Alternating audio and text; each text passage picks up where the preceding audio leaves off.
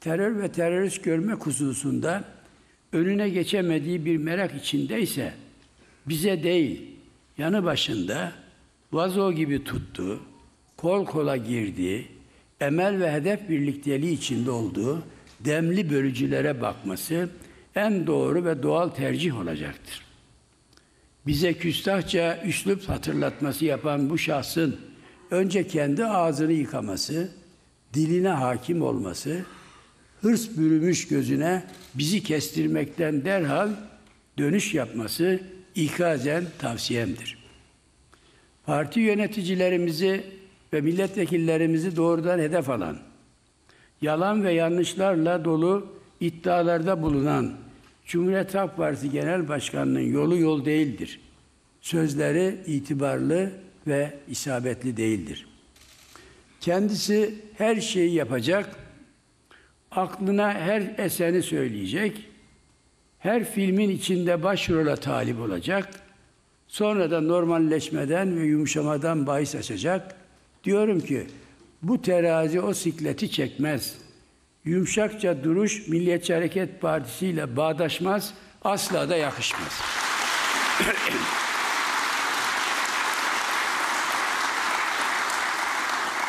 bir yanağımıza tokut, tokat atana diğerini dönemeyiz. Ya aynısıyla cevap veririz ya da uzanan o eli kırıp atarız. Bazıları söz konusu dümen çevirmek olunca hemen kaptan kesiliyor. Bilmiyorlar ki dümenciliğin sonu aylaklık ve ayakçılıktır. Biz kendimizi hiçbir zaman yüksekte görmedik. Sadece siyasi müflislerin ve iki yüzlülerin seviyesine inmedik. İnmeyi de hiç aklımızdan geçirmedik. Öylelerini tanıdık ki biraz adam ol diyeceğimiz ilk anda yutkunduk ve vazgeçtik. Çünkü onlardan imkansızı istemenin boşuna bir heves olduğunu defalarca gördük ve şahit olduk. Dünya alemin derdi biz olmuşuz. Anlaşılan alayına külahlarını ters giydirmişiz. Uykuyu da haram etmişiz. Allah'ın izniyle buna devam edeceğiz.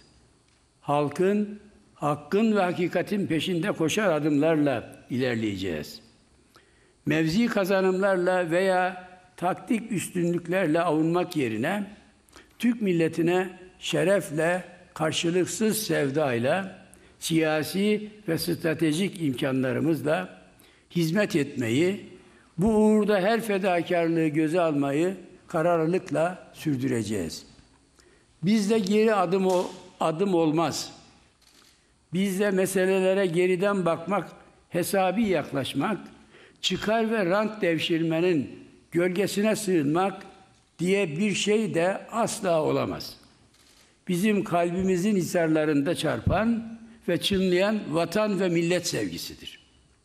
Siyasette yumuşama arayanlar önce bu sevgide uzlaşacak cesamet ve cesareti gösterebilmelidir. Bunun dışında gürültü kirliliğine, açılan tiyatro perdelerine karnımız tok, aldırışımız yoktur. Her insanımızı az, aziz bilen, her vatandaşımızı kardeş sayan bir fikir ve fıtrat kalibresiyle önce ülkem ve milletim, sonra partim ve ben demekten aklımızda Türkiye'yi tıpkı bir bayrak gibi taşımaktan bir an olsun taviz vermeyeceğiz. Onun bunun değermen taşında öğütülecek, şunun bunun istismar sofrasında meze olacak ne bir arkadaşımız ne de siyasetimiz vardır. Yumuşama ve normalleşme diyenler şayet Türk ve Türkiye sevgisinde Türk milletinin ortak aklı ve ortak paydasında kararlı ve kati buluşmaya tamam diyorlarsa bunu da fiilleriyle ve fikirleriyle tescil ediyorlarsa haydi buyursunlar bize her yer Türkiye'dir, Türk milletinin has bahçesidir.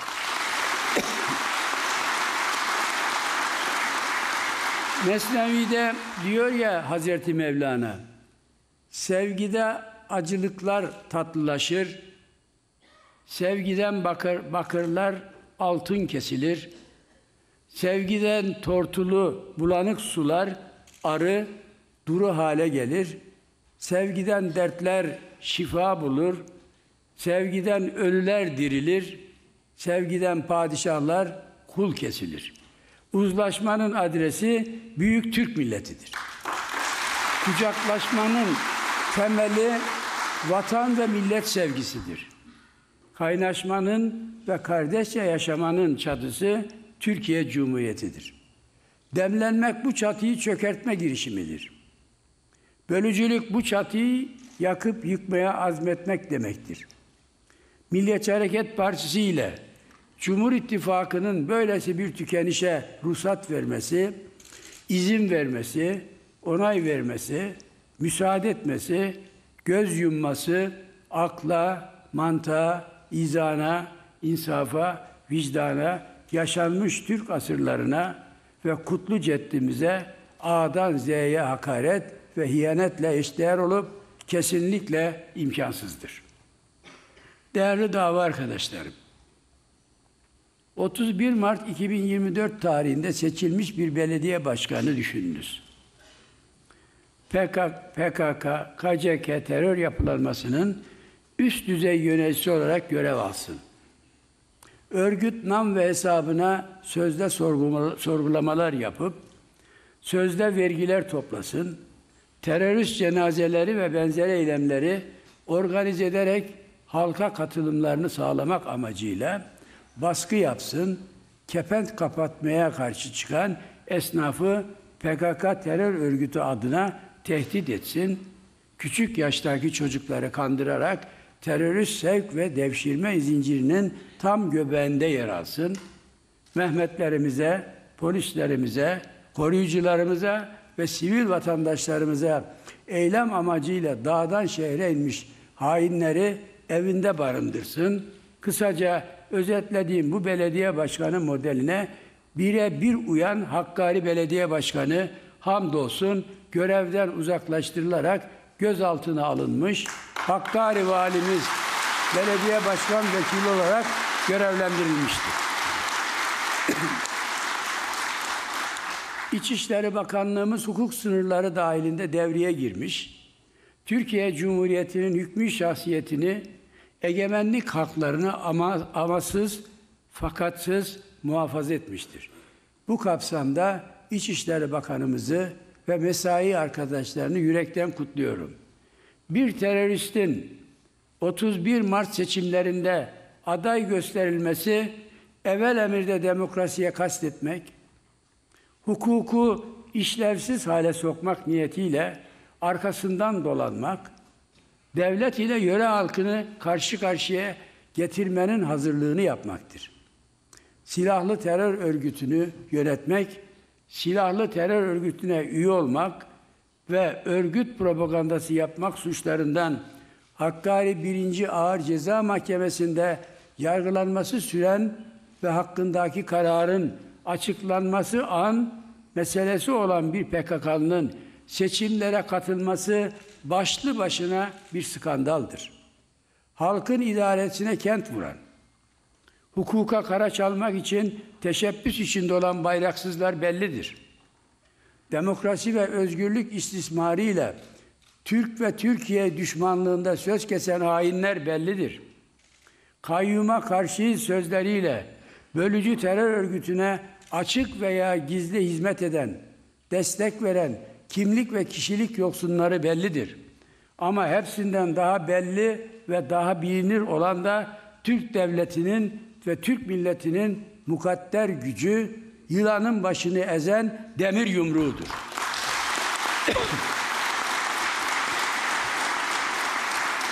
PKK'lı sözde Hakkari Belediye Başkanı'nın kirli yakasından nasıl tutulmuşsa, inanıyorum ki diğer kanun ve ahlak kaçkını sözde belediye başkanlarının ve milletvekillerinin de yakalarından öyle tutulacaktır.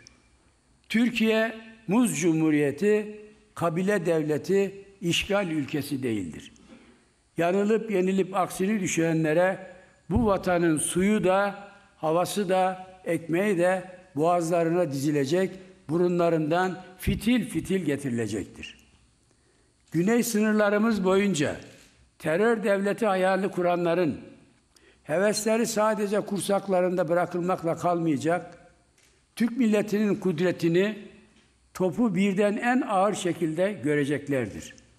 Türkiye'yi önce hırpalayıp, sonra yorup ve yıldırıp, ardından da bölgesel ve küresel dayatmalarla bölünmesini planlayanlar unutmasınlar ki Türk milletine kahraman bitmez, şehitler tepesi boş beklemez, gaziler kervanının arkası hiçbir zaman kesilmez. Doğudan batıya, kuzeyden güneye tüm Türkiye'de terörist belediye başkanı, terörist milletvekili istemiyoruz. Sözde kayyum edebiyatı yapanlar önce bölücü terör örgütü PKK'ya nasıl baktıklarını, onun siyasi aparatı deme nasıl yaklaştıklarını netliğe kavuşturmakla mükelleftir.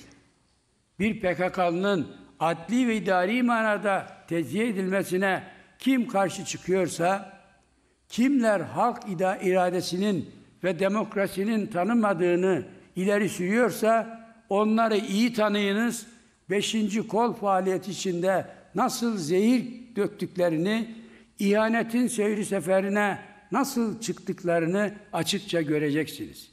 Şimdi gerçek emellerini maskeleyerek normalleşme ve yumuşama sözlerini tedavüle sokan demlenmiş CHP'ye sormak isterim. Bizim hangi konuda yumuşak huylu olmamızı bekliyorsunuz? Bölünme ve ayrılmada mı? Bin yıllık kardeşliğimizi bozmada mı? Nasıl bir uzlaşma ve normalleşme vasatı kafanızdan geçiriyorsunuz? Devletimizin nasıl parçalanacağını mı?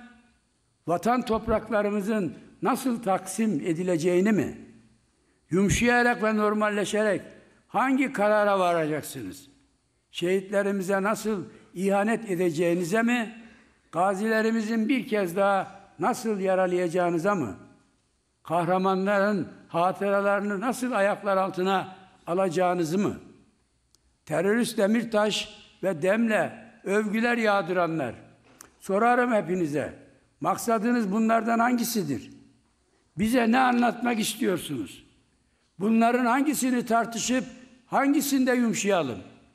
Bunların hangisini normal görüp hangisine seyirci kalalım?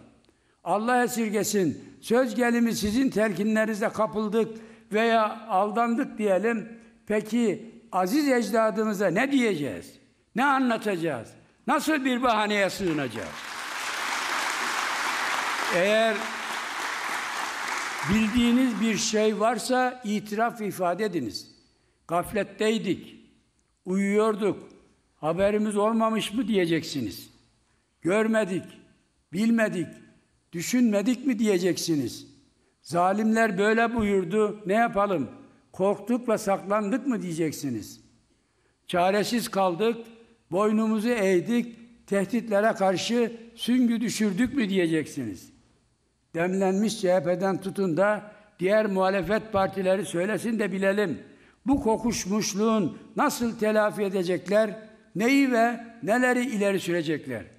Böylesi bir karanlıkta ısrar ve inat devam ederse, böylesi bir felaketin figüranı olurlarsa bunu tarihe nasıl anlatacaklar?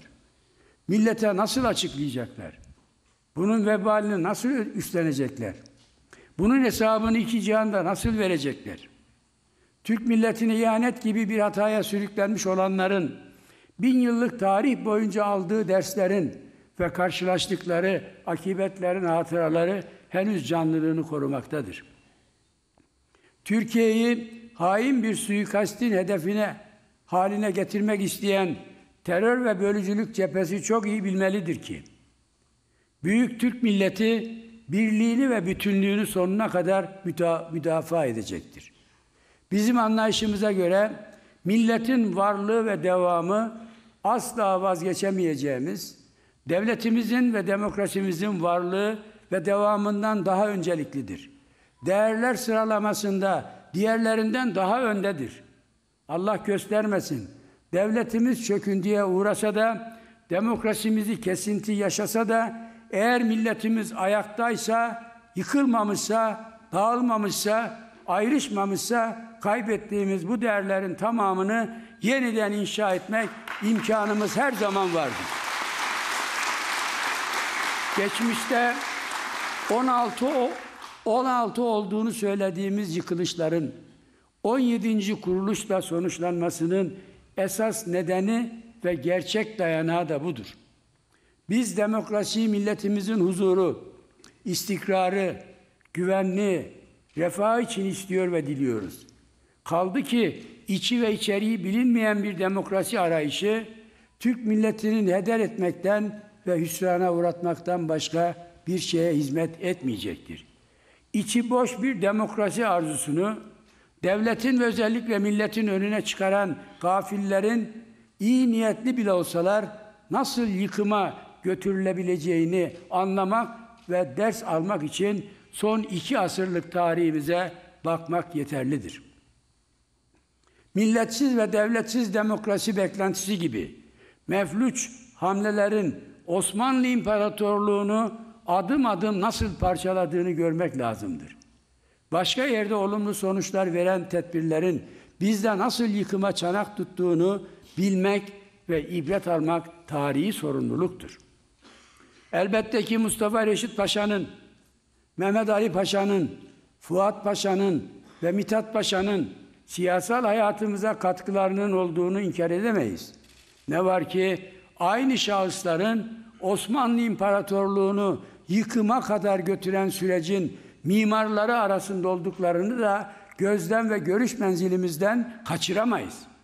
Tanzimatla başlayan uzun metrajlı serüven kuşkusuz ki milletimizi tebaadan vatandaşa, monarşiden cumhuriyete, mutlakiyetten demokrasiye doğru ilerleten sürecin nirengi noktasıdır. Ancak aynı süreç farklı kimliklerin imparatorluktan hızla kopmasının da başlangıcı olmuştur. Temennimiz muhalefetin düştüğü yanlıştan gecikmeksizin dönerek Türkiye Cumhuriyeti'nin Türk milleti kimliği ve demokrasinin güvencesiyle sonsuza kadar bir ve beraber yaşamasına samimiyetle katkı vermesidir.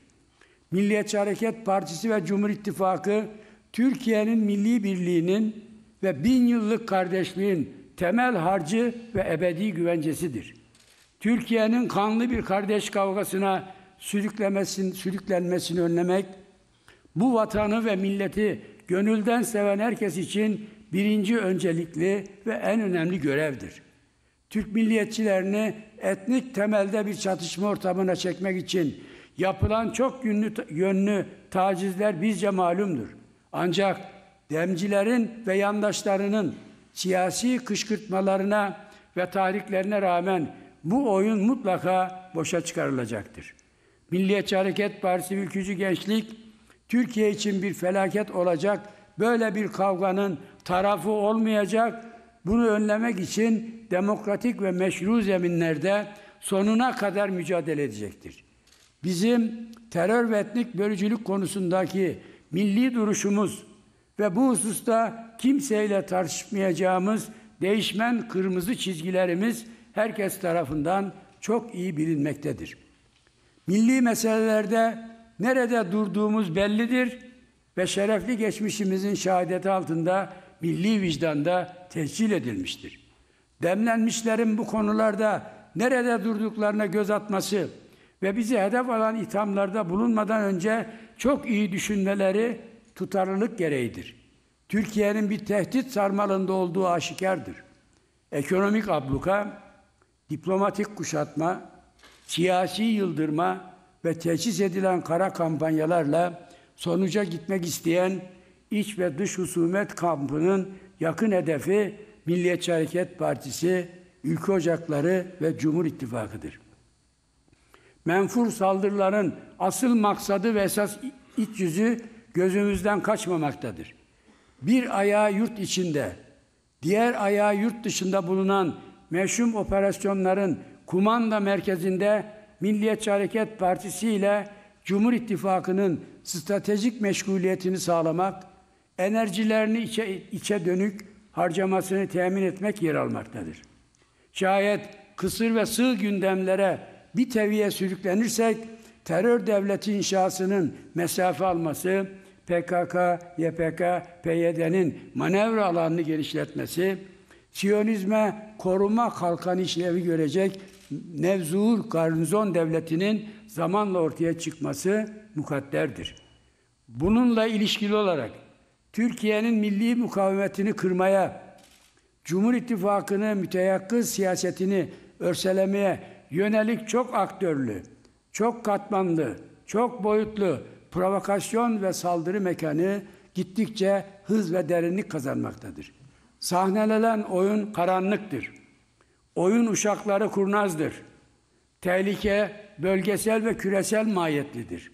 Bu nedenle Milliyetçi Hareket Partisi ve ülke ocakları aleyhine tedavüle sokulan karanlık senaryolar artan dozlarda, dozajlarda ilerletilmektedir. Yargıya intikal etmiş bir cinayet davasında partimizin ve ülke ocaklarının suçlanması, hatta dahilde ve hariçte ülke ocaklarına suç örgütü gölgesi düşürmek için kolları sıvayan ajan ve provokatörlerin sırtının sıvazlanması tesadüf değildir. Hepsini biliyoruz. Hepsini takip ediyoruz. Verilmeyecek bir hesabımızın olmadığını cümle aleme paylaşıyoruz. Ancak özellikle altını çizmek isterim ki 55 yıllık mazimizin damıtılan şuuruyla, devleşmiş mücadele ruhuyla dostumuzu da düşmanımızı da tefrik edecek karakter hamdolsun bizde vardır, tetiktedir, teyakkuzdadır ve buradadır. Değerli milletvekilleri, 27 Mayıs 2024 tarihinde Kızılcahamam Ülkücü Şehitler Anıtı'nda yapmış olduğum konuşmada şöyle demiştim. Yeni yüzyılda ülkemizin huzur, barış ve güvenliğinin sağlam esaslara bağlanması adına maskelenmiş menfur yüzlerin deşifresi amacıyla bunun yanı sıra elinde ve vicdanında ülkücü kanı taşıyan alçaklarla kesif bir hesaplaşmayı buradan teklif ediyor, buna da hazır olduğumuzu açıklıyorum. Hesaplaşmaya hazırız. Hesaplaşmadan kaçmayız. Hesap soracak yüreğe ise sahip olduğumuzu hiç kimsenin yabana atmamasını bekliyor, aklından çıkarmamasını temenni ediyorum. Başkaları için küçük, bizim için çok önemli bir ayrıntı da şudur. Hesaplaşacağız ama helalleşmeyeceğiz. Bugüne kadar sessiz kalışımız ülkücü katillerini unuttuğumuz anlamına asla gelmemelidir. Dün kanımızı dökenlerin bugün sözde mahkeme kurup ülkücü müdafasına tevessül etmeleri utanmazlığın sınır tanımadığına acıklı bir örnektir. Ülkücüyü ülke ocaklarıyla araştırmanın, dahası terörle ilişkilendirmenin zillet ve kabus dolu düşünü kuranlar eninde sonunda mahcup ve mağlup olacaklardır. Bize hazırlanmış bir iddianameyle ilgili olmadık lafı edenler her şeyden önce ellerine ve vicdanlarına bulaşmış ülkücü kanlarını temizleyecek edep ve onuru gösterebilmeleridir. Bizim hiç kimseden öğrenecek veya duyacak bir şeyimiz yoktur. İlk silahı çekenlerin, ilk mermiyi atanların, Türkiye'yi Marksist-Leninist uçuruma itmek için her ilk ilkelliğe tatbik edenlerin, binlerce dava arkadaşlarımızın kanına girdiğini yaşayarak biliyoruz ve onlarla, onların izinden yürüyenlerle her seviyede hesaplaşmaya hazır olduğumuzu üstüne basa basa açıklıyoruz.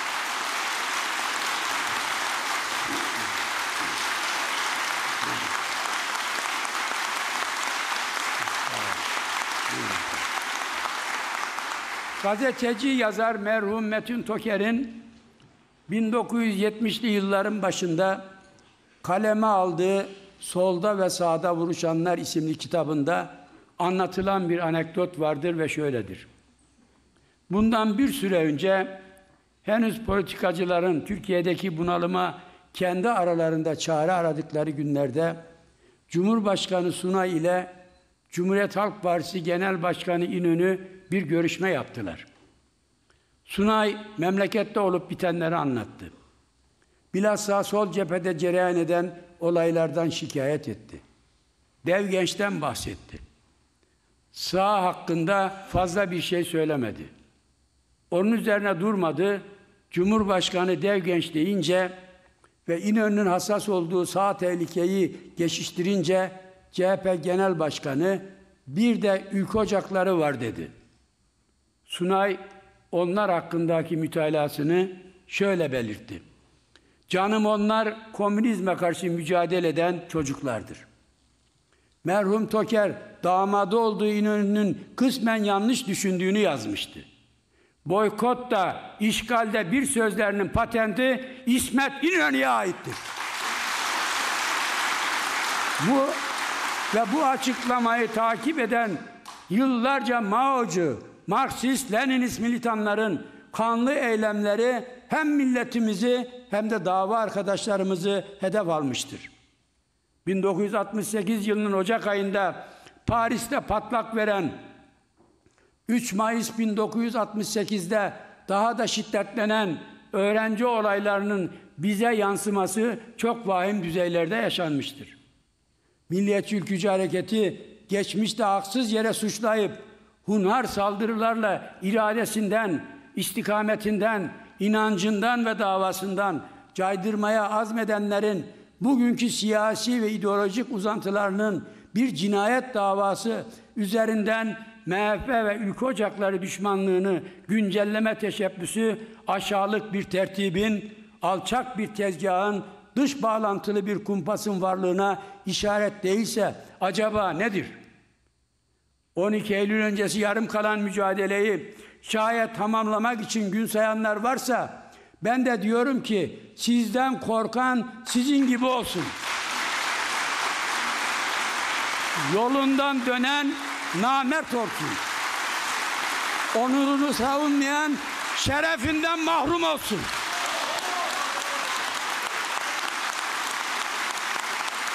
Hesaplaşma teklifimizi hesaplaşma teklifimizi tekrar ediyorum. Hatta Hodri meydan diyorum.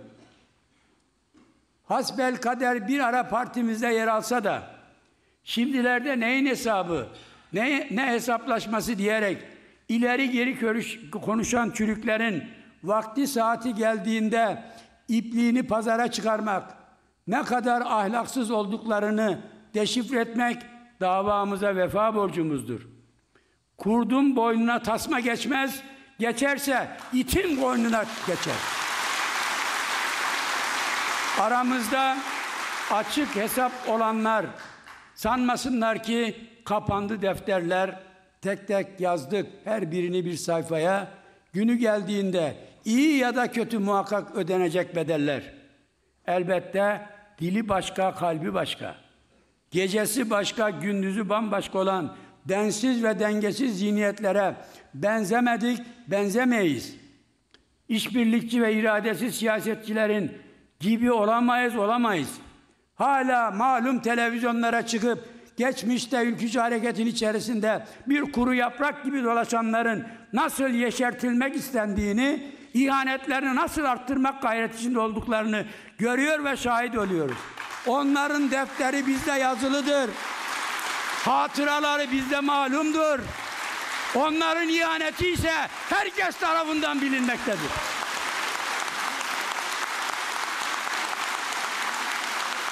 Türkiye'mizi yaşasın ile kahrolsun nidalar arasına sıkıştıramayız.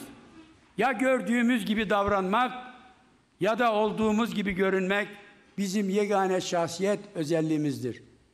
Düşündüğü gibi yaşayamayan pekala yaşadığı gibi düşünür. Söz ustası, şairlerin üstadı merhum Necip Fazıl Kısa Kürek'in yaşamıyor gibi yaşayanlar tabiri bahse konu bu uyumsuz ve tutarsızlığın adeta isarı ve ihbarıdır. Türk fikir ve edebiyat hayatının mütevazi çığlığı olan merhum Sezai Karakoç'un açılmış kalplerin önüne geleceğin sayfaları sözü bir yönüyle ne yapacağını bilen, nasıl yapacağını bilen, niçin yapacağını bilen şuur sahibi dava insanları için söylenmiş gibidir. Birbirini takip eden ne ile sema gibi.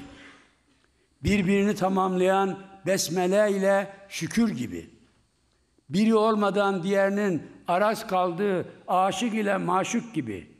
Birbirinin ayrılmaz kader ortağı olan ay ile yıldız gibi ülkücüyü ülküsüyle kenetleyip sahip olduğu şuurudur. Yılgınlığı ve çılgınlığı bertaraf eden bu şuur yine Sezai Karakoç'un işaret ettiği gibi yağan yağmurlarla sular altında kalan tahtayı gürül gürül yakan irfan ve irade ateşidir. Tehir edilmiş, müsveddiye çekilmiş, çekileceği zannedilmiş, oysa ki her anı mazinin kayıtlarına geçen hayat yolculuğunda tomurcuk kaygısı taşımayan bir ağacın odun olmaktan başka seçeneği yoktur. Milliyetçi Ülkücü Hareket'in serden geçti yüreklerinin 55 yıl önce yola çıkarken mutlak surette tomurcuk derdi vardı. Ve lakin yeşillenen topraklarımız kimi zaman sararıp düştü. Kuruyup sararan bu yaprakların akıbetini rüzgar tayin etti. Bazıları kapıyı sert çekip gittiğinden dönmeye yüzleri kalmadı. Bazıları meçhule açtıkları yelkenler sırtlar yırtılınca ıssızlığa mahkum oldu. Kimi zaman da sapı gövdemizden yapılan baltaların darbesine maruz kaldık. Ancak geldiğimiz bu aşamada tıpkı bir çınar gibi Türk milletinin vicdanında kök salmasını çok şükür başardık.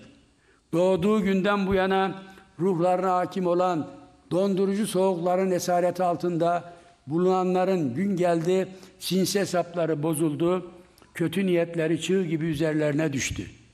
Yine aynısı olacak.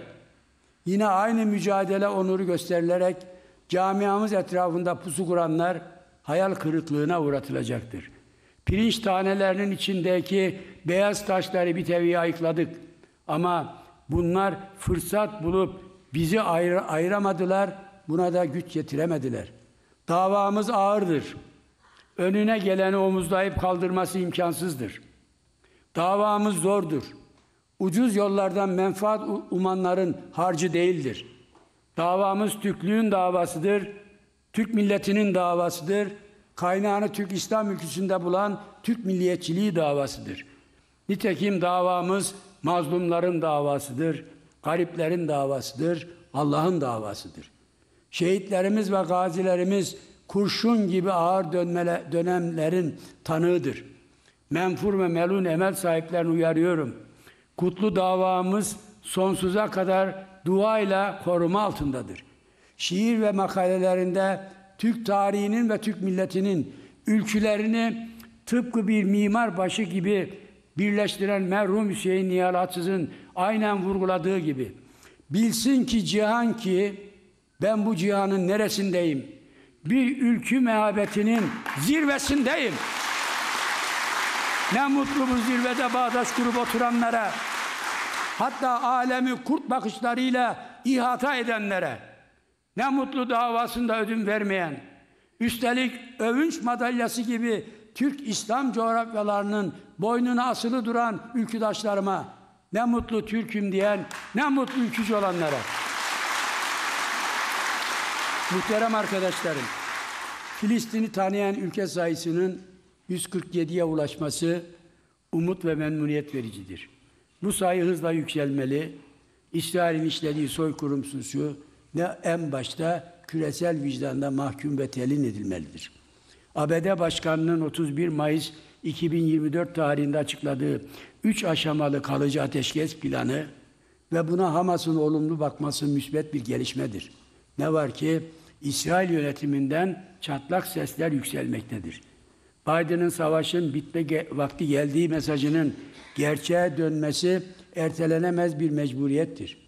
İsrail Başbakanı Cani Yahu'nun 1 Haziran 2024 tarihinde Hamas'ın yok edilene kadar Gazze'de kalıcı ateşkesin olmayacağını ileri sürmesi, katliamların süreceği önünde gönündeki ce- şüphe ve kaygıların maalesef kamçılamıştır.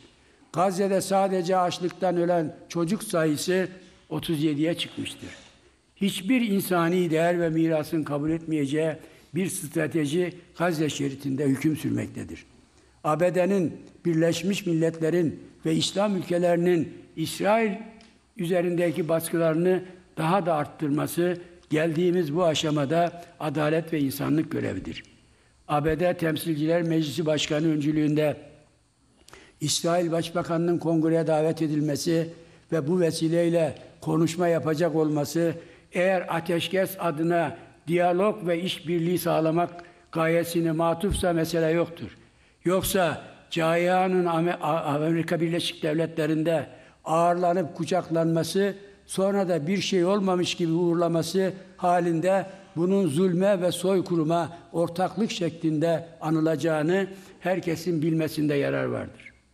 İsrail ile Filistin arasında bir an evvel kalıcı ve köklü ateşkes rejimi tezahür etmeli, sürdürülebilir barış için taraflar harekete geçmelidir. İki devletli çözümden başka herhangi bir alternatiften bahsedilemeyecektir.